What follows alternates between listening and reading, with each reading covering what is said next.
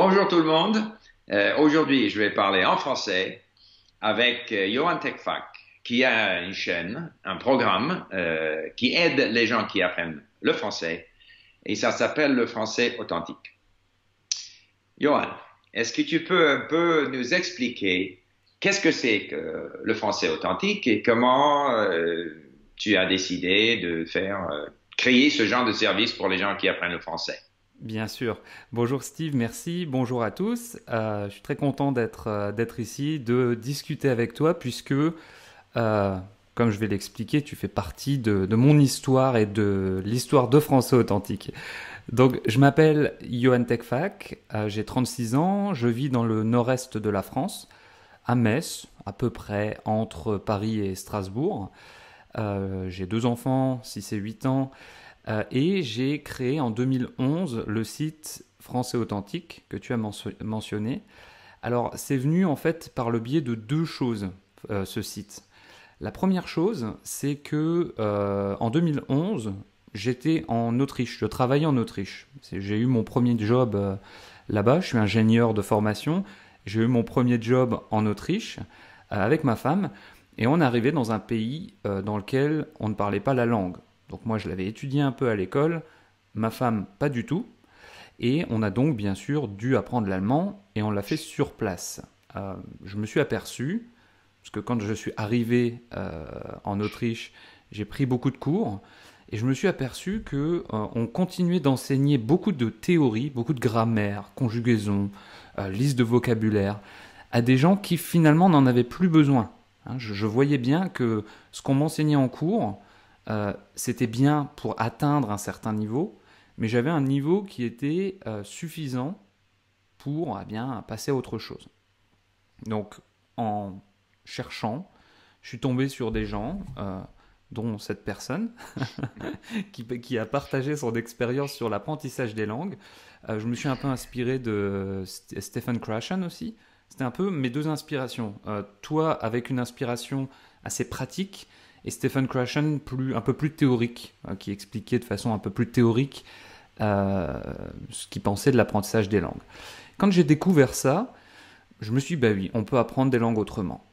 En parallèle de ça, euh, j'étais donc en Autriche et je rencontrais beaucoup de non-francophones qui comprenaient bien le français, avaient quelques difficultés à s'exprimer et me disaient, allez en cours. Ils allaient encore en cours, ça faisait 10, 12, 15 ans qu'ils étudiaient le français, ils allaient en cours à l'Alliance française, etc. Alors en soi, il n'y a rien contre aller à l'Alliance française, mais je me suis dit pourquoi ne pas appliquer ces méthodes, dont on n'entendait pas parler en 2011, à l'apprentissage du français? Et en faisant quelques recherches euh, sur Internet, j'ai vu que tous les sites qui enseignaient le français le faisaient en traduisant de l'anglais. Il n'y avait pas de site en français authentique. C'est comme ça que j'ai créé français authentique. Donc désolé pour la longue introduction, mais c'est comme ça qu'on a que, tout a commencé. Et euh, d'après ce que j'ai vu, euh, le site présente donc des discussions, des monologues, peut-être des fois des, dialogues ou des mhm. discussions, mais surtout même des monologues. Mais c'est euh, un français naturel, dépensé sur de différents thèmes. Et forcément, d'après mon expérience, quand on parle naturellement, c'est-à-dire on n'écrit pas d'abord pour ensuite enregistrer, hmm. on parle d'abord pour ensuite créer une transcription d'une discussion naturelle. Ce genre de contenu est, très important, c'est très intéressant, c'est souvent plus facile point de vue, de, point de vue du niveau de vocabulaire qui est utilisé. Donc, ça répond à un besoin réel qui existe dans, non seulement dans le français, mais dans, dans, beaucoup de langues. Donc, je te salue pour cette initiative. Et, et quelle a été la réaction? Et comment tu as pu donc développer ce site pour atteindre, parce que maintenant tu as une audience quand même assez répandue. Oui, oui, euh, j'ai une audience assez répandue. Eh bien, il y a en fait, euh, la réponse, elle a été un petit peu à la mesure des progrès qu'on fait dans une langue. Pourquoi j'ai une audience? Il y a une audience très importante qui suit Français Authentique aujourd'hui ben Parce que euh, depuis 2011, je publie chaque semaine des vidéos, chaque semaine des podcasts. J'essaye d'aider un maximum de gens et je participe beaucoup sur les réseaux sociaux.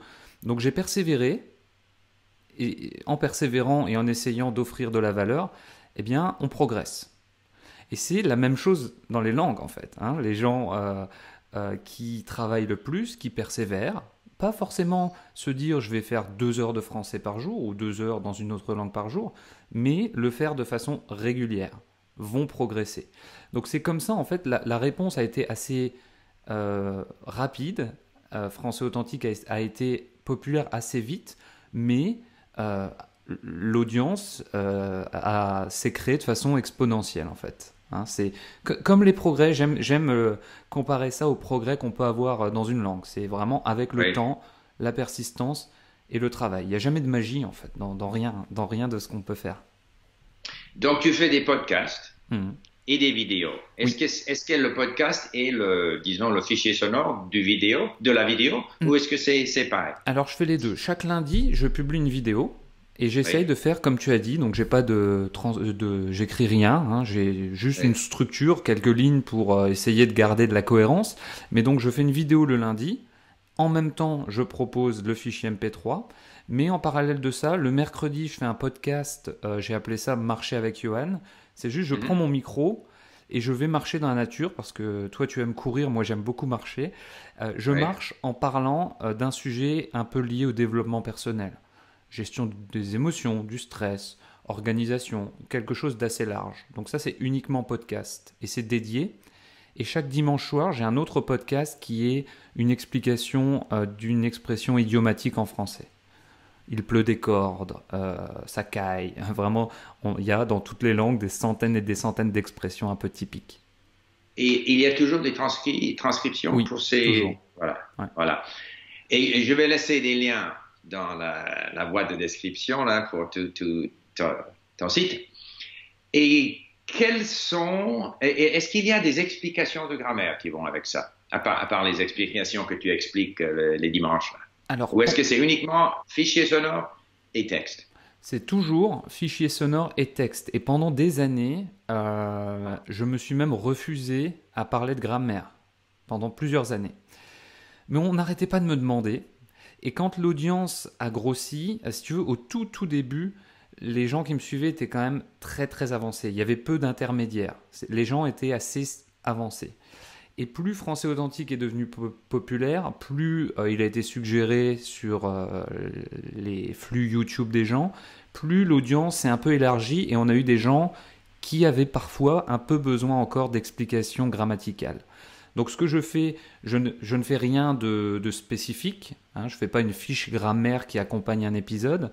Par contre, de temps en temps, je fais une vidéo dans laquelle je vais essayer d'expliquer euh, la grammaire, euh, mais de façon un peu, euh, encore une fois, authentique. Moi, je ne suis pas prof de français, donc je ne suis pas légitime pour expliquer la grammaire comme le ferait un professeur, de façon très très technique. Donc j'essaie juste de donner des, quelques astuces et j'essaie de le faire différemment. Donc de temps en temps, peut voir sur ma chaîne une vidéo sur le subjonctif, euh, le conditionnel.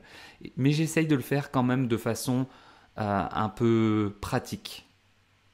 Oui, et je crois le fait de, de faire ces explications en français, ça veut dire que la personne qui l'écoute a déjà eu l'expérience avec le subjonctif, le conditionnel. Oui. Donc, tu fais référence en français, donc c'est du contenu intéressant pour eux, parce qu'ils se sont demandé comment ça se passe. Oui. Ils ont eu, ils ont vu ça, et ils savent pas trop trop bien comment ça marche. Mhm. Et tu l'expliques en français. Moi, je trouve que ça, c'est la façon de présenter euh, la grammaire. Oui, c'est plus populaire, c'est vrai. Oui. Ouais. et euh, comment dirais-je? Alors, puisque ah, tu m'as dit que tu as, tu as créé une société au Maroc. Oui. Euh, donc, ça veut dire que c'est une affaire qui te permet de, de, gagner ta vie. Oui. Donc, comment dire en anglais Comment tu fais pour monétiser pour, comment Monétiser, ouais. Hmm. Monétiser, voilà. comment Parce que c'est toujours intéressant pour les gens qui font des, des choses sur l'Internet, ils enseignent des langues ou n'importe quoi.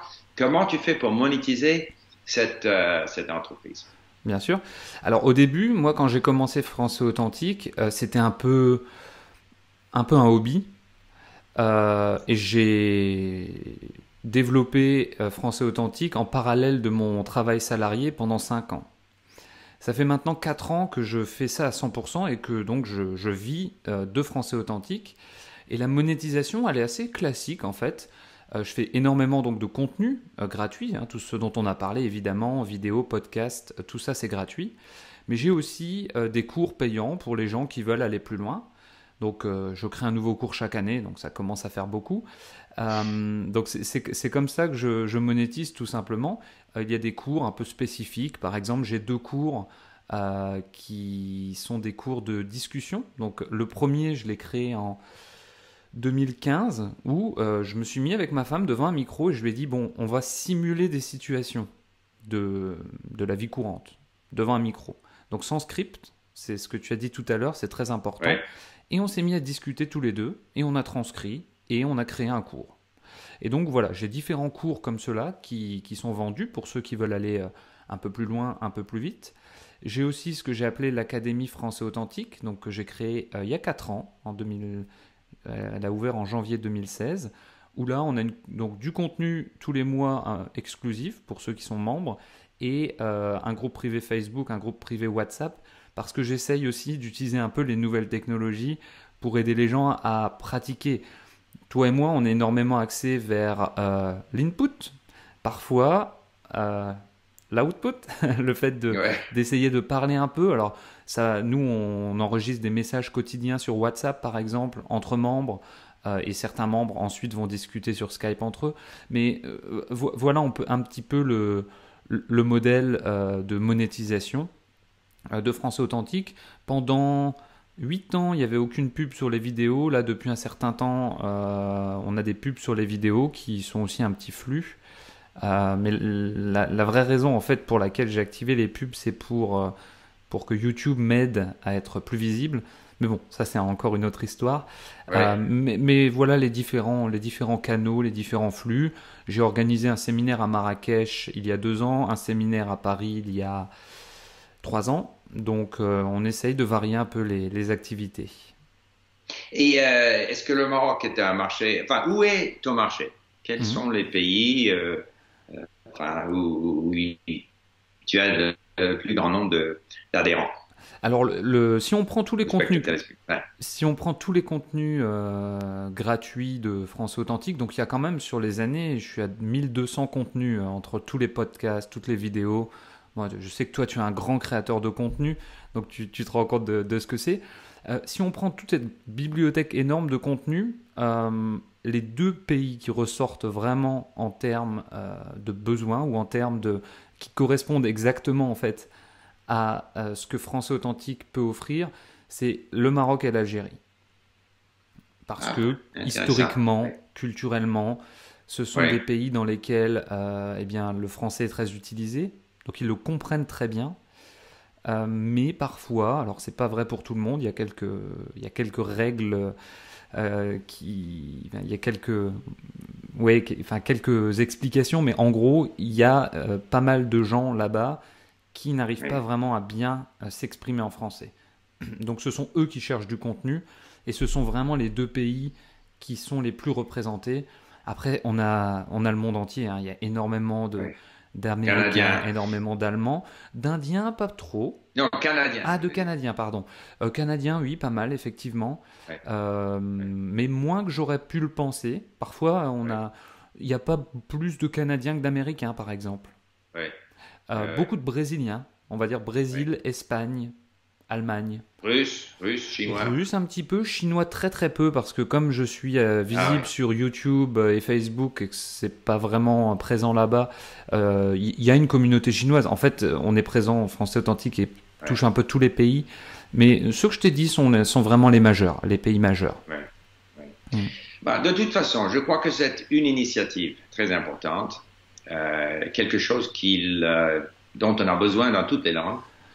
Euh, au Canada, le gouvernement fédéral dépense euh, un argent incroyable, 2,7 milliards de dollars pour une période de cinq années pour faire augmenter le niveau de bilinguisme euh, hors Québec. Et ça n'aura pas d'effet, finalement, parce qu'ils enseignent mal. C'est toujours les mêmes méthodes traditionnelles. le gouvernement ferait mieux de payer des abonnements à tes services à tous les Canadiens, ça c'est autre chose.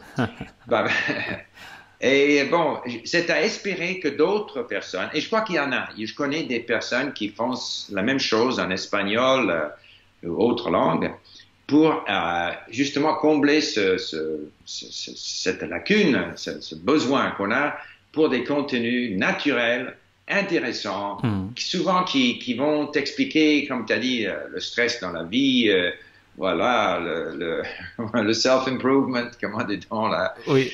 Ben, c'est ça, et c'est excellent. Et c'est ce genre de, de, de, de monde d'enseignement ou d'apprentissage des langues un peu organique qui est en train de se développer à travers des personnes comme toi, comme moi, et c'est à espérer que, par exemple, tu as dit que tu veux apprendre l'arabe.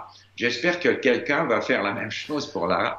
et le, persan, le turc, je cherche des, contenus pas trop difficiles mais intéressants, et j'en trouve pas. Bon, l'arabe, il y a des problèmes parce qu'il y a l'arabe standard que j'apprends, et puis il y a les langues dans chaque pays, mais enfin. C'est plus dur, hein. Moi, je pense vraiment, Steve, que la, révolution, euh, elle a déjà commencé. Euh, je t'expliquais que quand j'ai créé Français Authentique, euh, lorsque j'ai fait mes recherches avant de, de, créer le, site, il n'y avait pas de site qui était uniquement en français, à base de français. C'était tout avec une traduction. Euh, j'ai fait une ligne en anglais, une ligne en français. En 2011. Là, on est fin 2019. Des sites comme Français Authentique, il y en a plein. Il y en a plein. Ah, tu, as déjà, je t'ai vu sur, euh, sur, le, sur un autre podcast en français, sur une autre chaîne en français. Il y a plein de monde qui arrive et c'est génial pour deux raisons. Euh, la première, c'est qu'en général, des gens qui viennent comme ça créer des chaînes, euh, développer des, des, concepts, eh bien, c'est que c'est populaire. Et la deuxième chose pour laquelle c'est bien, c'est que eh bien, ça crée une compétition qui permet eh bien, aux créateurs de se d'essayer de se développer et de faire mieux. Si j'étais resté tout seul depuis 2011, peut-être que je serais tombé dans une certaine zone de confort et que j'aurais pas évolué. Aujourd'hui, il y a plein de monde à côté de moi et je sais très bien que voilà, si je me développe pas, si j'aide pas l'audience encore plus, euh, forcément, euh, on va m'oublier et ce sera bien normal. Donc, je pense que toute cette émulation, euh, je le vois sur, on a une page Instagram. chaque jour, je vois des Learn French with Bob. Dans, donc dans toutes les, dans toutes les différentes langues, tu, as, tu as vraiment énormément de, choses qui se créent. En français, je le vois parce que ça fait partie de, de, ma vie quotidienne, mais en italien, ça existe, en allemand, ça existe, et je pense que même dans les langues qui sont peut-être encore pas assez représentées, comme l'arabe, ça va venir, c'est qu'une question de temps en fait. Oui. oui, et puis surtout qu'il faut des, des, euh, des sites mhm. comme Français Authentique qui sont que dans la langue visée, dans la langue qu'on apprend. Parce qu'il y a tous les, je sais pas quoi, chinois 101, enfin n'importe quoi, mhm. il y a toujours l'anglais. Mhm. Je, ne veux pas entendre l'anglais, je veux entendre la langue, que ce soit l'arabe, le français, n'importe quoi. Donc euh, peut-être qu'il faut terminer, terminer là en se disant que voilà, c'est à espérer que ça va continuer et peut-être qu'un jour, si on avait, je sais pas, un site où il y avait tout, toutes les, tous les sites qui offraient, divisés par langue, l'espagnol, l'arabe, le chinois, hmm. mais uniquement des, des podcasts où ce n'était que dans la langue comment dit-on target language La langue visée ou la langue... Oui, on pourrait dire la, langue visée, oui, ou la langue que la, personne veut apprendre. Hmm. La, langue, la, langue, cible, on pourrait dire. Oui, la langue cible, la langue cible. Bon, avec ça, donc, je te remercie pour cette discussion. Merci beaucoup. Je vais laisser tous les, liens là. Et euh, c'est dommage que tu n'étais pas là il y a 50 ans ou 60 ans quand j'apprenais le français. Merci. Merci beaucoup, Steve. C'était un plaisir. OK. Au revoir. Au revoir.